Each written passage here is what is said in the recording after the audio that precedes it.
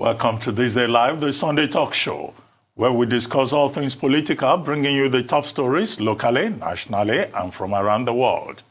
I'm Reuben Abati, and This Day Live begins now.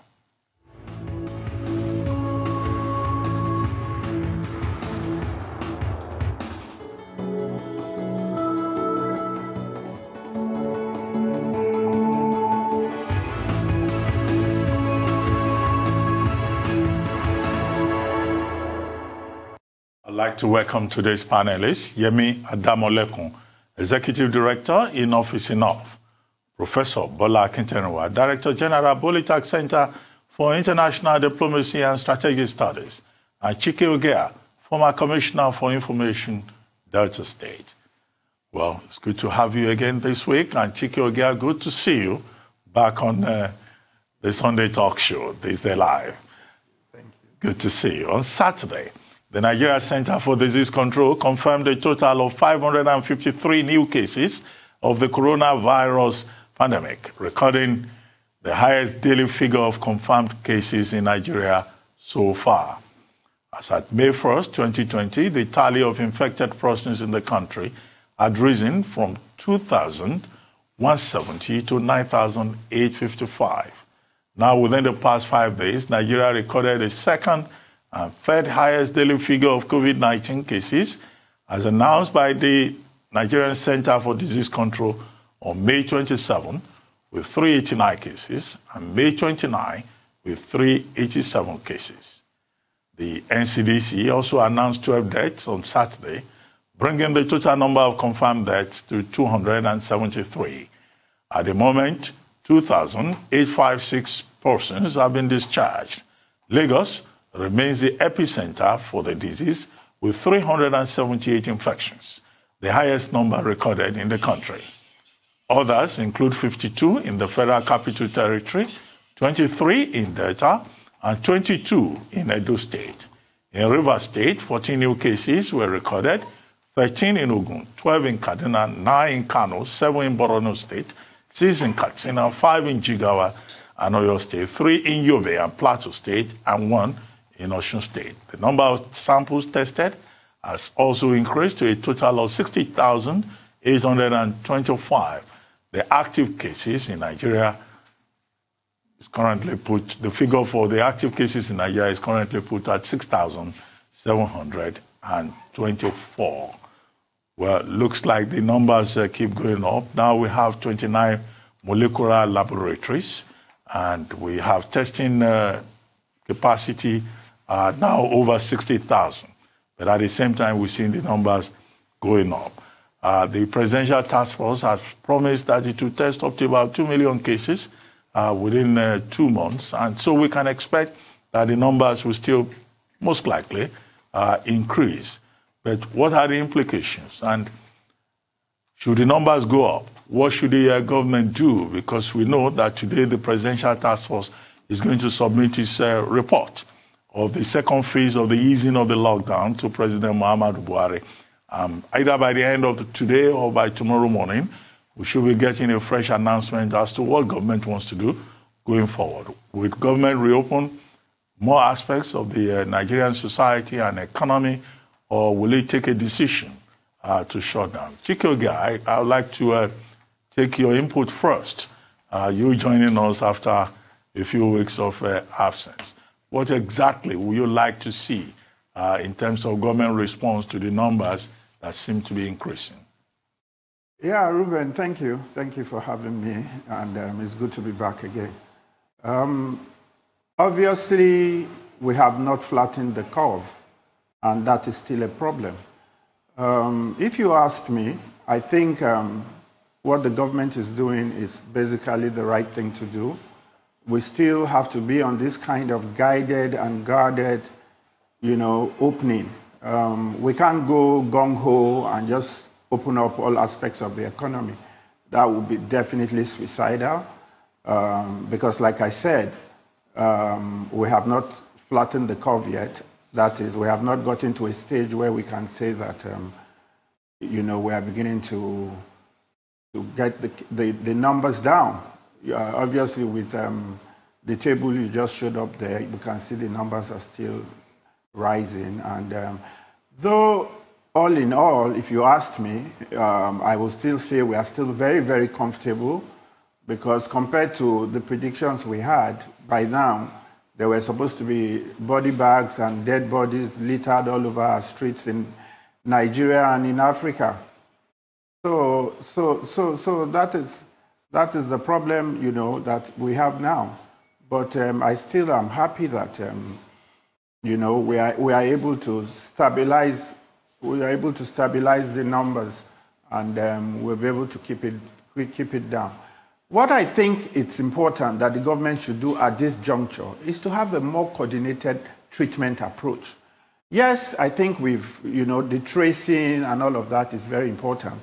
But now we should be able to you see, the, the numbers of labs, molecular labs, and all that we have, we have to bolster that seriously. We have to get private sector.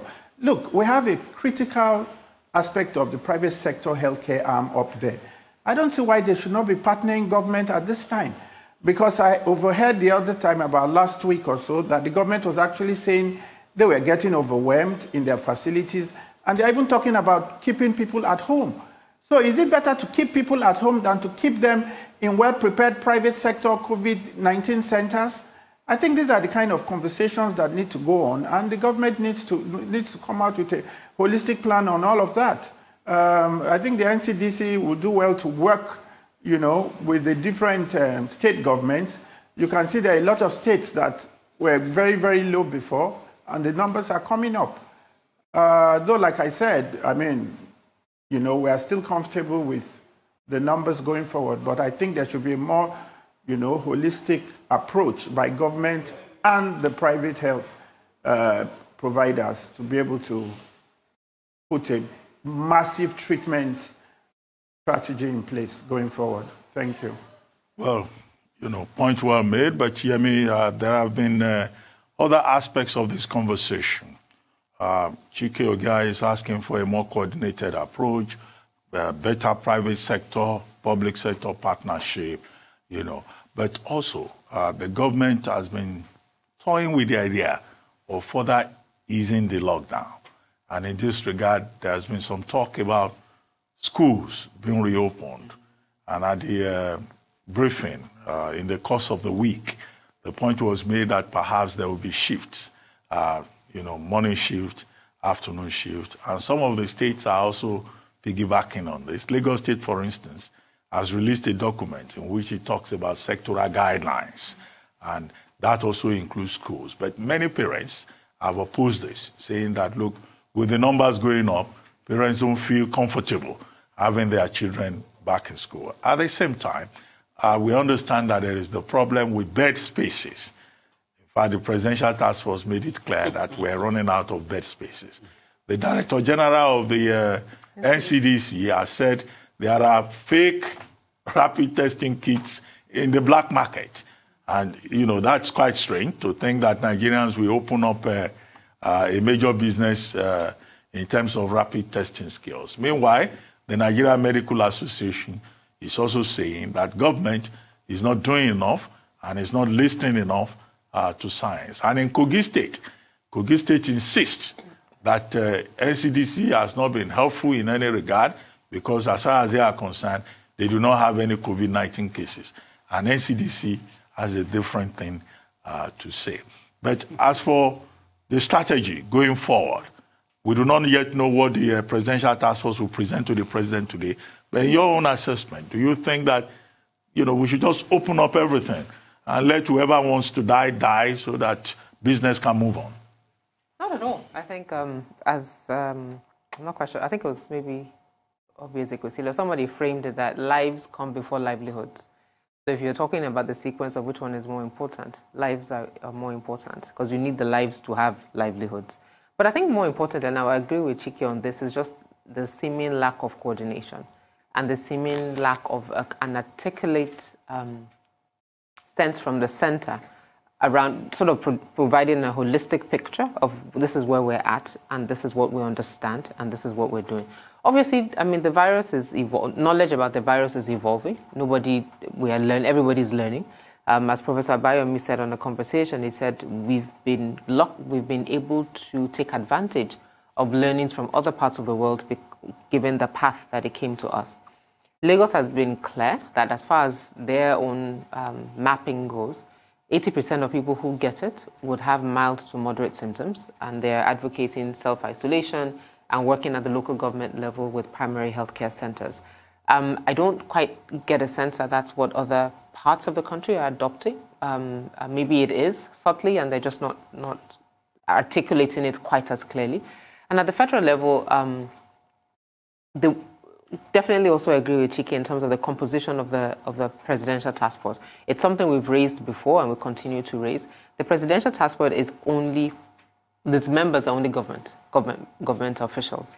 Um, there is definitely a place for private sector. There's a place for civil society. The balance for women, because the, the the virus globally is affecting women in more negatively that is affecting men, and that includes gender-based violence, um, that includes access to the, the, sort of economic economic welfare as well. So having more women on the presidential task force to actually speak to the issues as it affects them. So the composition of the presidential task force is an issue, and unfortunately, um, we're now in what week nine. The task force has said, yes, we're looking at it, we're looking at it, but they've taken no concrete steps to include women, include the private sector, and include civil society formally. So when we're making these plans, you have input from everybody at once. And there's consultation, there's clarity, so that when you make announcements, you have different pockets of society that's helping you reinforce and amplify the decisions that are being made. And for schools, I definitely agree. I mean, if adults are hard to manage in terms of compliance with masks and social distancing, how do you want to do that in a school when children don't really quite understand what is at stake? And parents now have an additional burden to keep to manage themselves and their children as they go outside of the home. Well, Prof, I would like to take your input, but you have to hold your fire. We'll take a short break. When we return, I would like you to respond to these issues and also add to the basket uh, the reports that uh, many uh, medical directors, particularly owners of private hospitals, are rejecting patients, and that is affecting uh, the public healthcare system in Nigeria in terms of fatalities and uh, the statistics that we're seeing. We'll come back to that and the program will continue. But meanwhile, let's take a short break here on This Day Live, the Sunday Talk Show. Don't go away. We'll be right back. Welcome back to This Day Live, the Sunday Talk Show here on the Arise News Channel. Still with me in the studio, I have Yemi Adamolekun, Executive Director in Office of Professor Bola Akinterinwa, Director General Bolytag Center for International Diplomacy and Strategic Studies, and Chike Ogeah, former Commissioner for Information, Delta State. Now, before we went on break, we were talking about the COVID-19 situation in Nigeria. And Prof, I wanted you to respond to the issues that have been raised so far. And then, of course, the fact that um, medical directors in private hospitals are allegedly rejecting patients. And if you may wish, you may add to that also the father INEC is saying that in spite of COVID 19, it's going ahead with the conduct of by elections in about nine states and also the governorship elections in Edo uh, on September 19 and in your state, Ondo State, uh, on October 10, 2020. Well, you see, um, you have answered the question you raised. No, I have not answered the question. You, you have. You see, I don't know whether to agree with Chike and Yemi, my brother and sister, on the issue of coordination. What is it that there is to coordinate? What really? What are you coordinating? First of all, you did raise the good point that um, the medical practitioners are currently refusing. It's not a question of allegation. They said they do not want to accept any patient. So, what are you coordinating at that level? Is addressing the issue being raised by the doctors. A second point media reports have it that uh, uh, interstate travel ban is being bastardized. People pay, um, you know, the security officers, mm -hmm. they buy their way through. What are you coordinating at that level? The issue now is that when you have um, law enforcement agents who are supposed to carry, you know, to the doorsteps of uh, the people the instruction of uh, the president. People move and they buy their way through. What are you coordinating? Now, everything has been bastardized. The anti COVID 19 uh, pandemic is seriously in trouble. Another issue how do you talk about um, coordination or way forward when there is a conflict between government's instruction and people's refusal to comply with that? Why wouldn't the number of casualties, number or increase in the number of um, COVID 19 patients, why will there not be an increase when, for instance, people flout the instruction? Now you want to reopen schools. Fine. But under what conditions? We are told that, look, pregnancy takes about nine months for women before you deliver. Then after birth, you need uh, six years before you qualify to go to school. And thereafter, you want to go to secondary school. How would you expect any woman who will remember the day of birth of uh, his child, of his word, to quickly accept, to take the risk, and ask the children to go back to school when the protection there is not even guaranteed? It's not sure. Wearing of mask is not a solution in itself. It's, it only helps to reduce, you know, the attraction of that one. So it's not a solution per se. Now, you go beyond that, nobody is respecting social distancing. Yemi drew attention to that particular one. At the end of the day, we are only trying, quote and unquote, to panel beat the situation the way all these um, technicians uh, uh, deal with our vehicles. We cannot have any constructive, enduring solution for as long as we have not evolved a culture of respecting. Mm. All right. Life is more important than um, you have to exist before you look for food. Indeed. Is it not when you live that you are hungry yeah. that uh, the blood can be flowing in your capillaries, in your blood system? A dead body uh, doesn't care about food. So this is the issue. Well, Chike, let me come back to you uh, quickly. Um, I don't know whether you would like to comment on the INEC part of it. INEC saying that it's going to conduct by-elections as a way of preparing for the elections in Edo and Ondo, and also the fact that the Presidential Task Force is now considering the idea of reducing the uh, briefings, not to the daily schedule that they have currently, but to maybe every two days or every three days, uh, so that the briefings do not become uh, monotonous. Should they sustain the daily briefing pattern, or it makes sense from a communication uh, perspective uh, to reduce the number of days that they give us updates? Quickly. Quickly, right, um, before I come to the two questions you asked, let me just say something about the coordination I was talking about. I am aware, you know, that um, some private medical healthcare facilities are indeed ready and willing to handle COVID 19 patients. Maybe not too many of them. Those are the ones I speak about that I said government should work with and, you know, coordinate with them and make sure they have a template of benchmarking whatever it is that is required of them to do, and so they can be able to assist in this fight. Because obviously, this thing is overwhelming for the government. That is on that aspect. On the aspect of the INEC thing, well, you see, whether we like it or not, we are playing a game of Russian roulette with this thing in Nigeria. Because this definitely, seeing the way the mass of our people have been behaving about this COVID 19 thing, it's not the time to conduct any kind of election, if you ask me. But the truth is that, well, we might run into some constitutional crisis. So if by elections have to be conducted, well, they might have to be done. The government has failed woefully in its communication strategy, I must say. Um, I remember when I used to be in the federal government a long time ago, there was the arm of the federal government called the National Orientation Agency. This thing that is happening in Nigeria was tailor made for that agency. That agency, even more than the NCDC, should be what should have taken this, this information on COVID 19 and run with it and be feeding us with information on a minute by minute basis. That should be all they should be doing. But I've not heard anything about them.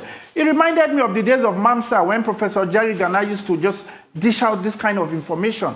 That is the kind of thing we, we need. Now, coming to the NCDC, whether they do it on a daily basis or they do it on a two day basis, it doesn't really matter. It's neither here nor there. The most important thing is for people to have the requisite information they need to be safe. And that exactly is what we don't do. All we all do, we non medical professionals, we just have informed guesses. I have read so much about this thing that I'm even tired. And I'm get, you know, the more I read, the more I get confused. That is the truth. And I just said to myself, in fact, the, the, the personal conclusion, like I said, as an informed, illiterate guess, is that everybody has the virus. It's just our antibodies that are fighting it. I mean, I don't know how, if you take that through any critical uh, medical appraisal, how that will hold water, you know. But the truth is that, yes, I know this idea that they say our demographics, we have more younger people, and that is what has helped us. That's why, relatively, we're not seeing the kind of deaths we should be looking at. That was why it was so devastating in, Ita in Italy, because Italy has apparently the highest population of um, old people and all of that. But the truth is that um, we are not getting the kind of information we need, either from, really, from government, because they are the ones coordinating this thing. You see people, they wear their mask, and um, the thing is down. They don't even wear it at all. And they're all together in a car. Then I see somebody who is alone in one car and he's wearing his mask and his air conditioner is up. You know, so the whole thing, you know, and obviously someone that should be in an air, conditioned, car wearing a mask, even a good car, a nice car, is someone who is obviously not an illiterate. So the whole thing is just so haphazard and totally uncoordinated. I, I know we can't exhaust this topic. Uh, today. Uh, it's something we take every week. But Prof is itching to say something. I hope you say it in less than 60 seconds so I, I can take so. the next topic. You see, Chike is quite right. Why do you want to organize an election? When, when there's no election, you are unable to coordinate, to borrow his word this time. When you are unable to prevent, you know, people from coming closer, they are not respecting. Is it when you now have elections campaigns, holding, etc., all along, that you will be able to do that. No, you see, the government, honestly, um, need to be told not to, not to toy with the lives of Nigerians. There's no need for any election for now. Then on the issue of um, INEC, please, why should the presidential task force suddenly become tired midway? are not being able to give us daily information. It's good for research. We are monitoring on daily basis. I am comparing, for instance, the information given at the level of the European Union on daily basis, on an hourly basis. They are giving this. They've just started. And we have been told that the pandemic is not to go away immediately. Now, midway, you are tired. Please, they should give us information on daily basis. Well, you know, this thing can uh, result in fatigue. Maybe they are COVID 19 uh, fatigued. Eh, they're the ones supposed to lead the way. Uh, or maybe they are not getting uh, enough resources as at when due. No, but the thing is, but the, we speculate. No, Let's take another subject. The information could also come in different formats, Prof. You don't mm. need to do a whole production every day, mm. but you can give briefings. It can be two of you because every day now it's like okay, ten let, of let's them. Let's take the next subject, which is uh, Nigeria, 21 years after the return to civilian rule.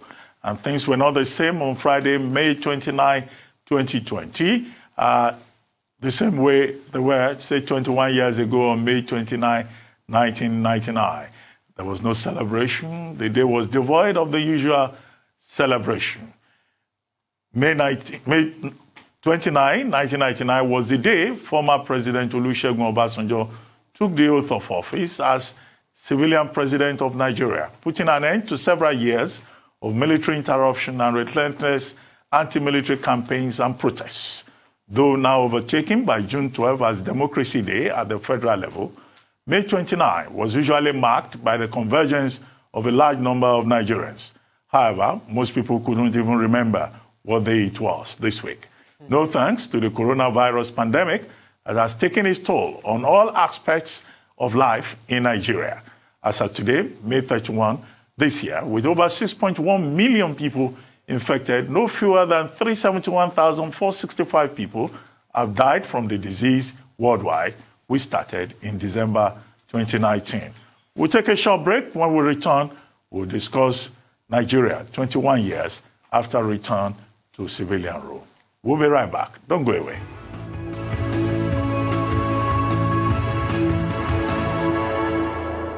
Welcome back to this day live, the Sunday talk show here on the Arise News channel. Still with me in the studio, I have Yemi Adamolekun, Executive Director, Enough is Enough. Professor Bola Akinterinwa, Director General Bolytag Center for International Diplomacy and Strategic Studies, and Chike Ogeah, former Commissioner for Information, Delta State. Now, Prof, although we no longer have public holiday on May 29, but many Nigerians still remember that it was on May 29, 1999, that the uh, military uh, exited the political uh, stage and we returned to civilian rule with President Olusegun Obasanjo uh, being sworn in as president. Now, it's been 21 years since then. How have we fared? May 29 was also one year after the uh, general elections of uh, 2019. So how also have we fared, particularly at the federal level and the state level? I know at the level of the federal uh, government, uh, the presidency had issued a statement saying that President Buhari has delivered on the uh, main issues of security, the economy, and the war against corruption, even if certain aspects uh, still constitute work in progress. What's your take, Professor Akinterinwa? I want to believe, and I also want to submit that in the past 21 years, the civilians have been more militarized in their mentality, and the military has also become more civilianized. In this case, we now have a situation whereby, when we are talking about uh, inauguration, when we are talking about democracy, either on May 29 or June 12, we should be talking about uh, uh, democratic dictatorship or dictatorial democracy. What do I mean by that? We have a situation whereby political governance is uh, more or less not going by democratic principles, rules. All right. The main opposition party, for instance, will kick against the use of executive orders by Mr. President in the belief that, look, what should normally go through due process, get a parliamentary uh, act on that, we are not doing that. I do not necessarily uh, uh, disagree with Mr. President in doing this, but I am saying that uh, governance, political governance, under the administration of uh, President Muhammadu Buhari, is more or less by fiat, mm -hmm. by what I normally call uh, manu militari. The president doesn't listen to any public complaint. The president is not on record to be listening to uh, media complaints. Like the constitution will require the media to monitor political governance by section either 20 or 21 of uh, the constitution. In this section case, 22. Section 22 now, as amended. Now, the issue is that the presidential system put in place in 1999 has not helped national unity, national cohesion. It has not. We have not been able to even manage the presidential system the way it is done, where we borrowed it from. And then I'm beginning to share the increasing uh, viewpoint of people that look, shouldn't we go back to uh, a regional system and then adopt parliamentary system which will be closer to the people. Now, in the past 21 years, people talk about development in terms of um, some case um, issues. But they are not talking in terms of national ideology. Do we have any grand strategy as a nation? We do not have. Do we have national ideology? We do not have. Do we have, in fact, as at 1999, are we more united today than we were in um, 1999? We were not. And in terms of um, democratic settings, in terms of inauguration, remembering inauguration in 1999, what was the purpose? In other words, to put an enduring end to militarization, to military rules, and so on and so forth. But today, the insecurity that we are witnessing in the country is such that the national unity that we are talking about is under constant threat. On that note, Prof, let me go to Chike. Chike. How have we fared since the uh, return to civilian rule? Has anything changed for the better? Or we're still just on the same spot? Prof has told us about the militarization of the civilians and the civilization of the military. and um, he says that um, to that aspect of things, we have not done well. Uh, we never had an ideology here, Prof knows, and that is why today I'm in Party A, tomorrow. I never did that though, for the records. I'm just talking, um, I'm just, yeah, it's true. I'm just talking the way Nigerian politicians do their thing. And tomorrow, you know, they're in Party B and all of that. So when you have a, a, a, polity, a, a polity like that, I don't expect you know, any form of enduring ideology, the type a professor of international relations of Professor Akinterinwa's caliber is looking for. Uh, he just has to, to be patient with us and pardon us. And uh, let's look at the little, little other softer things that we can benchmark, you know, the democracy we're trying to nurture with. Yes, it's been 21 years of unbroken democracy, and um, that is something I think we should be thankful for. Whether it was by default error or by, um, or by some act of providence, I don't know, but we started with a military man, and right now again we are with another military man. We've had two civilians in between. Does that tell us something about our democracy? I don't know. Like you said, uh, he went into the little aspect of maybe we should start talking restructuring and all of that. Well, that is also uh, it's all up in the air, so to speak. But for me, how would Nigerians say they feel today, like he said, in terms of their stomach, in terms of the physical infrastructure they see, and of course, mo most importantly, in terms of the national cohesion we're supposed to enjoy? How can they look at it today and look at it in 1999 and see which is it that is better? Have we done better? Are we going backwards? Are we going forward? In terms of physical infrastructure, has there been any difference? Taking into consideration, like I said earlier on, that these two dominant parties are six and half a dozen. So I never like into going into that um, into that um, philosophical or academic difference of trying to say one is PDP and one is APC. In fact, I, I laugh when you see a guy that was in PDP five years ago, being the one screaming and saying PDP is bad, PDP is this, and all of that. But you were there. When you were there, it was not bad, it was not that, it was not that, and vice versa. So I never look at that. And for somebody like me personally, that was why I got really, really put off by the kind of politics we play here.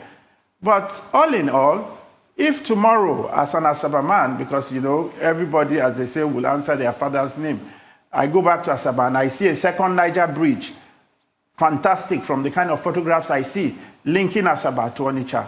Oh, definitely. I would say this government has done something I can see and something that concerns and touches me. I also live in Lagos. If I can drive to, to have an unbroken one hour journey like I used to have in, this, in the 70s and the 80s when I was in school, from here to Ibadan, of course I will scream. If I can see the railway moving, which I've never seen, I think, in my life, just all these odd ones we've seen uh, going through um, um, all these places, Oyingbo and all these places, you know, if we can see coordinated trains leaving Lagos, going to Ibadan, going to Maiduguri, going to Kano, going to Abuja, going to Port Harcourt, and all of that, of course, I will scream and applaud whoever does it. Because, like I said to you, it, I, am not looking at any party. I'm, I'm, beyond that, and I'm much wiser for that now. Well, Chike, let me bring uh, Yemi into the conversation. Yemi, I see you are wearing a, a black t shirt. Uh, you have this badge that says Bring Back Our Girls Now. And then you have National Day of Mourning and Remembrance for all victims of violent killings across Nigeria. Yep. Why should we be mourning at a time when uh, we're reflecting on uh, return to civilian rule? And, you know, you still are mourning the fact that the girls have not been brought back. Mm. What's your own perspective on how we have fared in 21 years? You are mourning? Return to civilian rule? No, no return to civilian rule. So three years ago, um, I think it's, it's instructive that how different parties choose the words. So a lot of people talk about return to democracy. I think um, Prof talked about uh, military di- dictatorship or dictatorial um, democracy. Um, I think Chike used the word civilian rule. And I think the words are important because they speak to what we believe. So yes, it's uh, democracy in a manner of speaking, but the operation of it differs. And that's why, um, at, at, least for, for me, I say civilian rule because, yes, they're not military people. But we don't have military rule, but as Chike said, we have military men in civilian clothing, and that has um, influenced our, our, governance.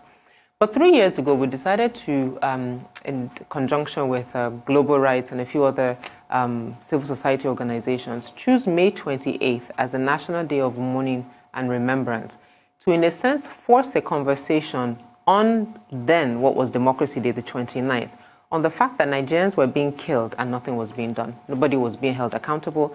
And so, if the day before there's quite a, a, a national outcry, we talk about the numbers, we mention people's names, talk about locations, any thinking government should then include it in their statement on the 29th. And on the first year, 2018 and last year, that did, that did happen.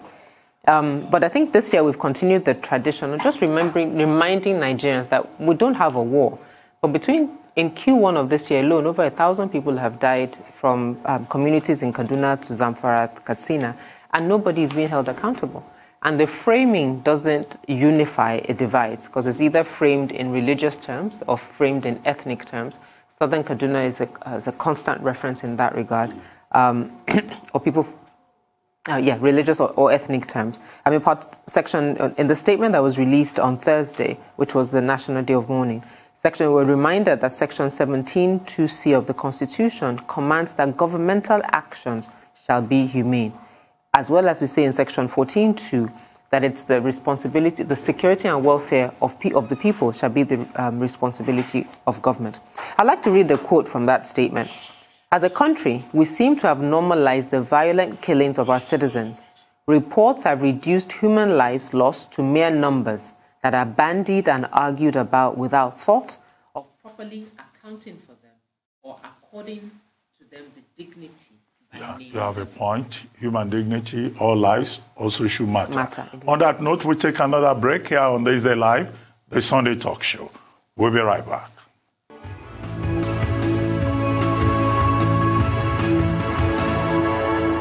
Welcome back to This Day Live, the Sunday talk show here on the Arise News channel.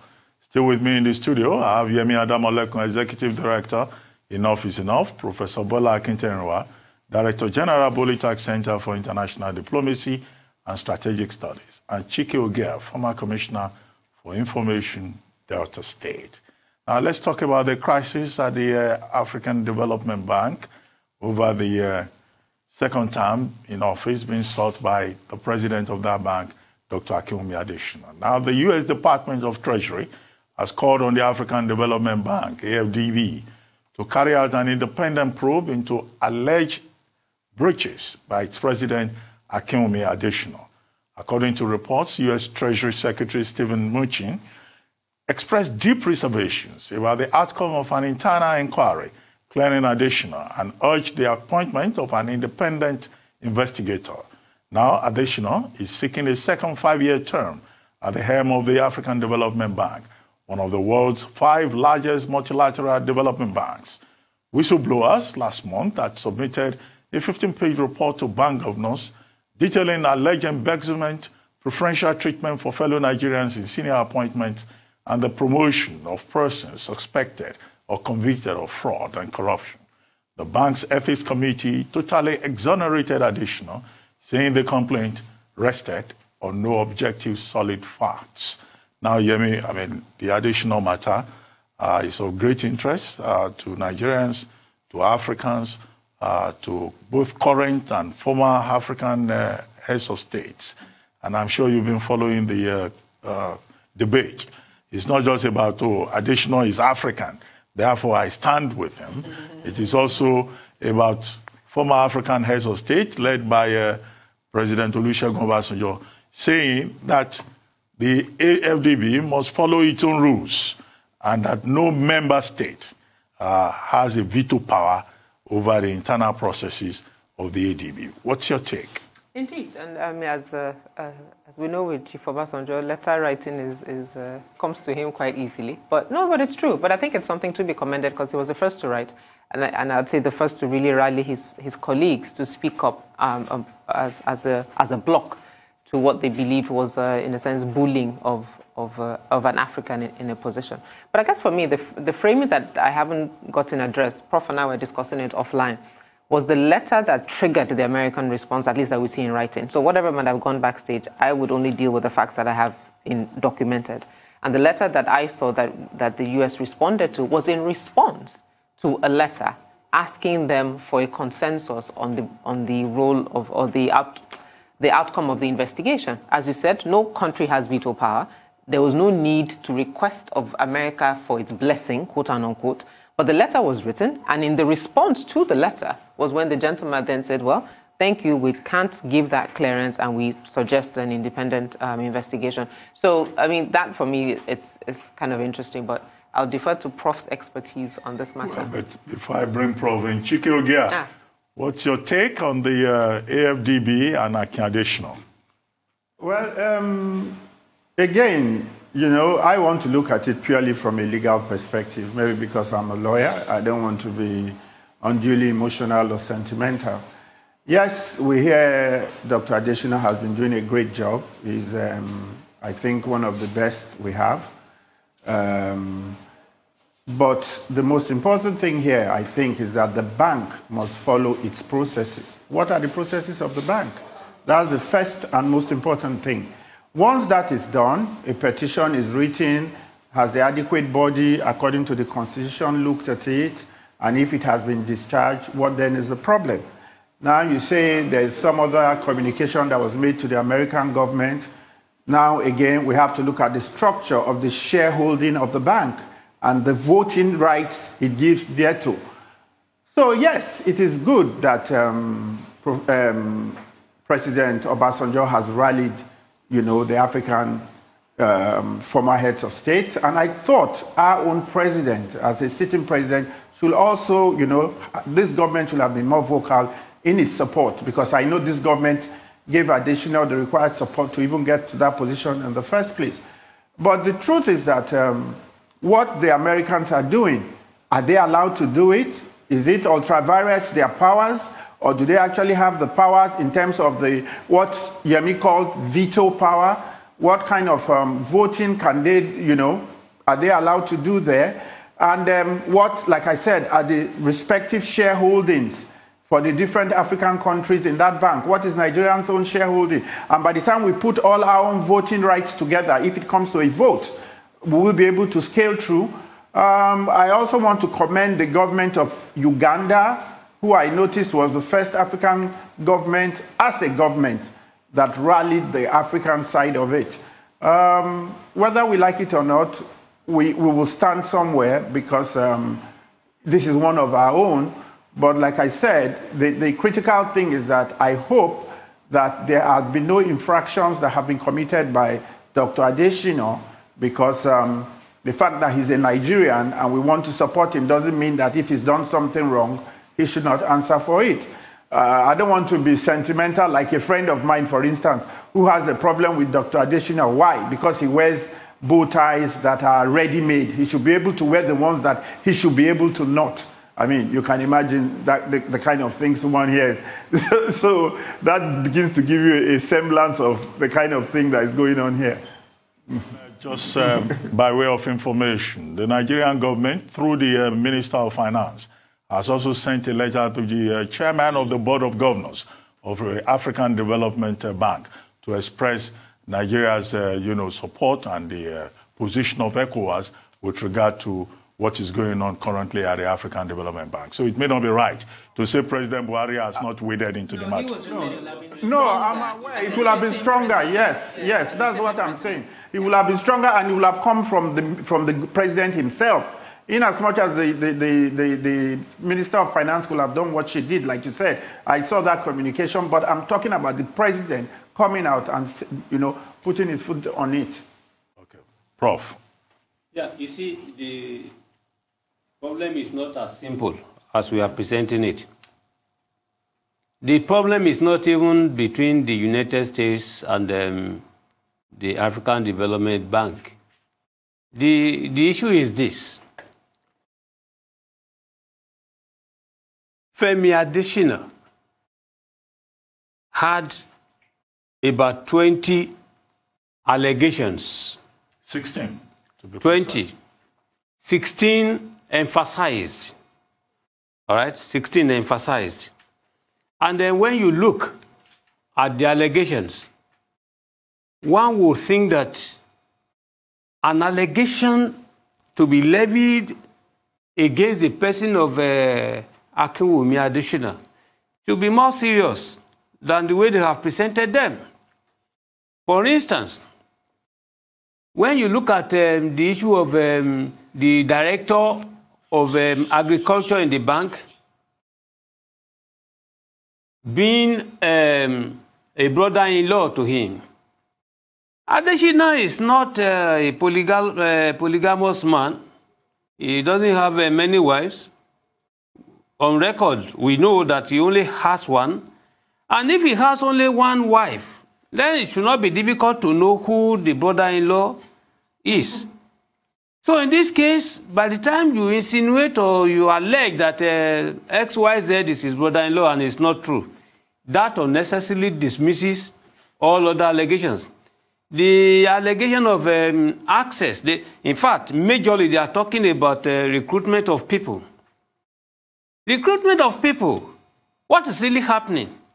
Let me tell you, this problem dates back to 1981. In 1981, the, pres the president of uh, Nigeria, then Alhaji Shehu Shagari, raised this issue of extra-regional equity participation. You know, membership of the bank is of two types, regional and non-regional. Regional is for the then 53 uh, African states, now 54. Non-regional comprises 27 others, including the US, China, Japan, France, Germany, all these countries. Now the issue is that uh, Shehu Shagari made it clear that time when they were now trying to influence, to suppress an uh, African approach to the, to the management. So by that time, African leaders did not support Nigeria, but Nigeria accepted to, to go along. That is how it should be seen. A Nigerian who worked in the bank, Dr. Olabisi Ogunjobi, was supposed to have been the president before the uh, immediate past, uh, you know, predecessor of uh, Additional. What happened? America is just simply trying to influence the bank in, an, uh, in, in, the spirit of America. Well, thank you very much, uh, Prof. Uh, thank you, Yemi, and thank you, Chike Ogeah. You've been watching This Day Live, the Sunday talk show here on Arise News. I'm Reuben Abati. From my entire team here in Lagos, it's bye for now, and thank you very much for watching. See you next week.